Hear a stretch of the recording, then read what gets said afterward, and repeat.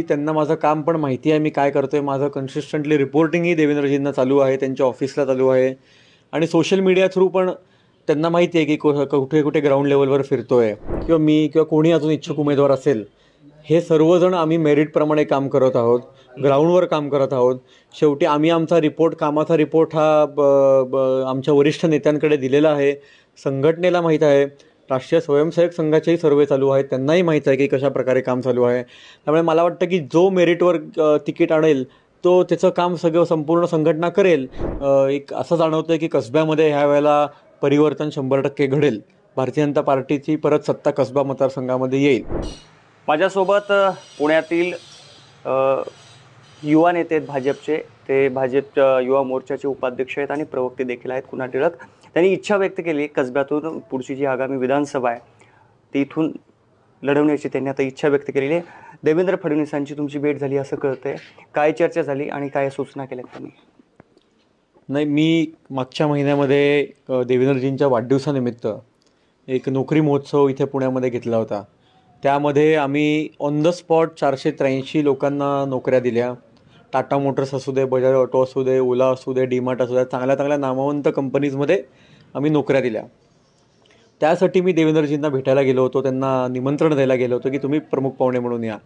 तेव्हा भेट झाली त्यांची. त्यांना माझं काम पण माहिती आहे. मी काय करतो आहे माझं कन्सिस्टंटली रिपोर्टिंगही देवेंद्रजींना चालू आहे. त्यांच्या ऑफिसला चालू आहे. आणि सोशल मीडिया थ्रू पण त्यांना माहिती आहे की को- कुठे कुठे ग्राउंड लेवलवर फिरतो आहे साधारणतः आत्ता हा आपण जिथे बसलो आहे हा प्रभाग पंधरा. तिथे मी ग्राउंडवर फिरतो आहे मुरलीधर मुरलीधरांना मोळांच्या लोकसभेच्या इलेक्शन्सच्या वेळेला मी साधारणतः साडेपाचशे घरांमध्ये इंडिव्हिज्युअली फिरलो. आणि त्यामधून जो काय एक संपर्क साधला त्यामधनं एक असं जाणवतं आहे की कसब्यामध्ये ह्या वेळेला परिवर्तन शंभर टक्के घडेल. भारतीय जनता पार्टीची परत सत्ता कसबा मतदारसंघामध्ये येईल. तुम्हाला असं वाटतं का की भारतीय जनता पार्टीकडून तुम्हाला संधी दिली जाईल आणि देवेंद्र फडणवीस तुम्हाला संधी देतील? एवढे म्हणजे दिग्गज नावं आहेत तुमच्यासमोर भाजपचे त्यांना डावलून तुम्हाला मिळेल. दिग्गज नावं तर आहेच सिनियर नेते आहेत सगळे. पण माझं जे काम आहे ते मी नेत्यांसमोर मांडलेलं आहे ठेवलेलं आहे. एका वेगळ्या प्रकारे राजकारणात मी काम करू इच्छितो. त्याप्रमाणे माझी स्ट्रॅटेजी असते. त्याप्रमाणे मी ग्राउंड लेवलवर पण काम करत असतो. आणि एक युवा नेतृत्व म्हणून युवा लोकांना युवकांना यापुढे राजकारणात आणण्यासाठी काहीतरी आता पावलं उचलायला पाहिजे असं मला वाटतं. आणि जास्तीत जास्ती प्रमाणे मग विधानसभेची इलेक्शन असू दे किंवा महानगरपालिकेची इलेक्शन असू दे. त्यामध्ये जास्तीत जास्त युवकांना रिप्रेझेंटेशन मिळणं तिकिटांद्वारे त्यांना स सभागृहात पाठवणं अशी मला वाटतं की एक पॉलिसी भारतीय जनता पार्टीची असायला पाहिजे. मला वाटतं की आणि राष्ट्रीय स्वयंसेवक संघाने पण आत्ता एक स्टेटमेंट केली की त्यामध्ये त्यांनी सांगितलं की जास्तीत जास्त युवकांना पुढे आणा. मला वाटतं की त्याचा एक आधार धरून मी तिकीट मागणार आहे कसबा विधानसभा मतदारसंघातनं. तुमचं भारतीय जनता पक्षासाठी आणि कसबा विधानसभा मतदारसंघासाठी काय कॉन्ट्रीब्युशन आहे कामाचं आणि कुठले कामं केले त्या जोरावर तुम्ही आता पक्षाकडे ही उमेदवारी मागताय? मी जसं म्हटल्यापासून की पोटनिवडणूक झाली त्यानंतर स मी नाही तर सगळेच लोक जे कोण इच्छुक आहेत ते सर्वच कामाला लागले. आम्ही पहिले तर सर्वप्रथम लोकांना लोकांची नाराजगी का होती ते बघितलं. त्यामध्ये त्यांच्याबरोबर संपर्क साधला घरोघरी जाऊन. त्यानंतर मग ज्या याद्या होत्या मतदार याद्या त्या ज्या फुगलेल्या याद्या होत्या त्या आम्ही कमी केल्या. त्यामध्ये जे मयत लोक होते त्यामध्ये जे मायग्रेट झालेले लोक आहेत त्यांची नावं काढली. जे वा मायग्रेट झाले त्यांना म्हटलं की त्यां त्यांच्यासारखं नावं काढायचं नसेल तर त्यांना मतदारसंघामध्ये कसं बोलवता येईल ह्याचं सांगितलं. त्यानंतर जे काय प- प- प्रामुख्याने प्रश्न आहेत कसबा मतदारसंघातले ट्रॅफिक असेल हेरिटेज असेल रिडेव्हलपमेंटचा विषय असेल स्वच्छतेचा विषय असेल असे जे प्रलंबित रस्त्यांचे प्रश्न आहेत ते सोडवण्याचा प्रयत्न केला. प्रत्येक गोष्टीमध्ये प्रामुख्याने आम्ही पा बारकाईने बघितलं. मला वाटतं की मागच्या काही काळामध्ये आम्ही त्यामध्ये यशस्वी झालो आहोत. अजूनही खूप कामं आहेत तशी जी आम्हाला करायची आहेत. पण जोचपर्यंत महानगरपालिका येत नाही तोचपर्यंत तिथे कुठेतरी आम्हाला तिथे ब- थांबावं लागतं. म्हणून जो काही समन्वय शासनाबरोबर करायचा आहे ती कामं मी आत्ता प्रामुख्याने म खूप त्याला चांगल्या प्रकारे वेटेज देऊन करत आहे. आणि त्यामधूनच मग देवेंद्रजींची भेट घेणं बावनकुळे साहेबांची भेट घेणं कोण मंत्री असेल त्यांची भेट घेणं चंद्रकांत दादा तर आहेत तर त्यांची भेट घेणं असे विषय घेऊन जेव्हा जातो तेव्हा मला वाटतं की ऑटोमॅटिकली कामाचा रिपोर्ट हा नेत्यांना मिळतो. आणि त्यामधूनच कळतं की इच्छुक आहे आम्ही उमेदवार. आणि आत्ता मी जसं सांगितलं की मी जॉब फेअर घेतला नोकरी महोत्सव घेतला. जास्तीत जास्त युवकांना त्यांचं स्किल डेव स्किल वाढवण्यासाठी स्किल डेव्हलपमेंटसाठी काय करता येईल ते सांगितलं. चारशे त्र्याऐंशी लोकांना नोकरी दिली आम्ही ऑन द स्पॉट त्याचबरोबर पुढच्या दिवशी जवळजवळ अडीचशे लोकांना ऑन द सेकंड इंटरव्ह्यूसाठीही बोलवलं होतं.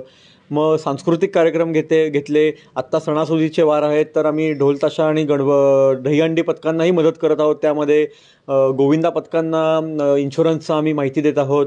लाडकी बहिणी योजना आहे नवं मतदार नोंदणी योजना आहे ह्या सर्व अशा ज्या योजना आहेत ह्याचं आम्ही सगळं रजिस्ट्रेशन्स करून घेतलेले आहेत. आणि मला वाटतं की खूप चांगल्या प्रकारे एक पॉझिटिव्ह इफेक्ट कसबा मतदारसंघातील नागरिकांमध्ये आहे असा आम्हाला विश्वास आहे. पोटनिवडणुकीच्या आधी तुमच्या मातोश्री स्वर्गीय मुक्ताताईंना एक मोठं मताधिक्य होतं आणि त्यांना काही दिवस या मतदारसंघाची सेवा करायला मिळाली. मात्र त्यानंतर त्या गेल्यानंतर पोटनिवडणूक झाली आणि त्यामध्ये दंगेकरांनी भारतीय जनता पक्षाच्या उमेदवाराचा पराभव केला. पोटनिवडणुकीत काय चुका झाल्या असं तुम्हाला वाटतं? हे बघा मी पहिले पण सांगितलं आहे की पोटनिवडणुकीत जे काही झालं ते झालं. आता त्याच्याबद्दल बोलण्यामध्ये काही हे नाही. फक्त त्या चुका ज्या झाल्या त्या आम्ही त्याचा अभ्यास केलेला आहे. संपूर्ण कसबा मतदारसंघातील किंवा पुणे शहराच्या संघटनेने अभ्यास केला की कुठे चूक झाली. लोकांपर्यंत कुठे पोचू शकलो नाही किंवा पोचलो तिथे पण कशा प्रकारे त्यांच्याबरोबर संवाद साधायचा तो साधू शकलो नाही. अशा प्रकारे ज्या चुका झाल्या ज्यामध्ये फक्त आउटरीचचा विषय असेल त्यामध्ये आम्ही खूप इम्प्रूव्हमेंट्स केलेले आहेत. मी जसं म्हटलं की लोकांना फक्त संपर्क साधण्याचा हवा आहे त्यांच्याबरोबर. त्यांना बाकी जरी काही नको असेल तरी फक्त संपर्क साधा. आम्ही क- तुमच्याबरोबर आहोत असं आम्हाला लोक आता सांगत आहेत. आणि त्याचबरोबर मग जे काही बाकीची कामं आहेत ती करायची. रिडेव्हलपमेंटचा विषय आहे.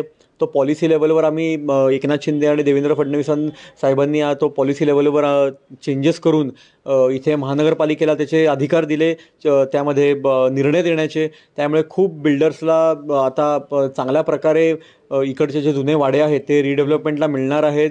आणि अ असु असुरक्षितपणे जे इकडचे ब रहिवासी राहत होते जुन्या वाड्यांमध्ये कधी पण कोसळू शकेल असं धोकादायक इमारती होत्या.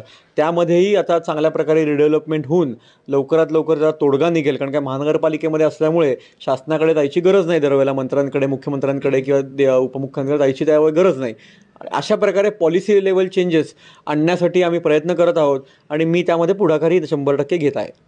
पोटनिवडणूक झाल्यानंतर पोटनिवडणुकीत पराभव झाल्यानंतर हेमंत रासने हे झपाटून कामाला लागलेले आहेत काम करतायत. आणि त्यांनी लोकसभेच्या आधी ज्यावेळेस त्यांना विचारलं की लीड किती देणार तर त्यांनी सांगितलं होतं पंधरा प्लस मी लीड देणार आणि तसं झालं सुद्धा तरीसुद्धा भारतीय जनता पक्षाची श्रेष्ठी त्यांना डावलून तुम्हाला संधी देतील असं तुम्हाला वाटतं का आणि कितपत शक्य आहे असं? हे बघा माझं एकच म्हणणं आहे.